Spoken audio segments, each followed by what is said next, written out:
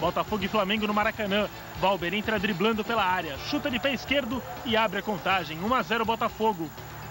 O baixinho Romário faz a torcida adversária ficar quieta com este golaço. 1 a 1.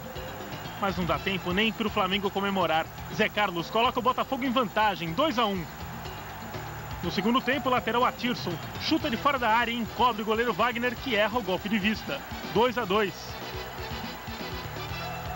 Falta em dois lances contra o Flamengo. Bebeto faz 3 a 2 Botafogo, de novo na frente. E Sérgio Manuel, de pênalti, amplia para o Botafogo. Agora, não perca conta, 4 a 2. O terceiro gol do Flamengo é difícil de entrar. A bola rebate na zaga e Fábio Baiano diminui para o Flamengo.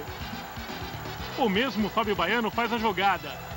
Chuta e Rodrigo Mendes apenas desvia para fazer o gol de empate. Flamengo 4, Botafogo 4, placar final.